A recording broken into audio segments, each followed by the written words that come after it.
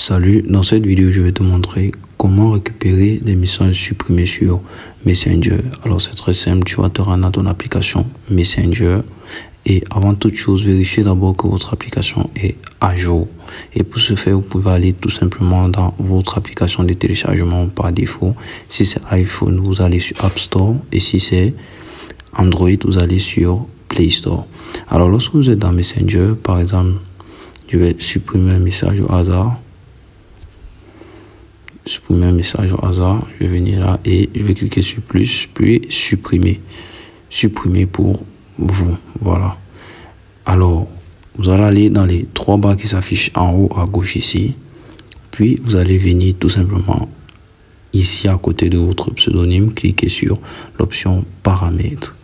Lorsque vous êtes à l'intérieur, vous allez défiler jusqu'en bas, puis cliquez sur signaler un problème.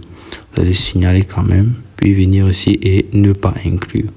Lorsque c'est fait, vous allez sélectionner ici l'option discussion parce que votre problème est lié aux discussions. Et vous allez écrire ici en tout simplement, je souhaite récupérer mes derniers messages, tout simplement.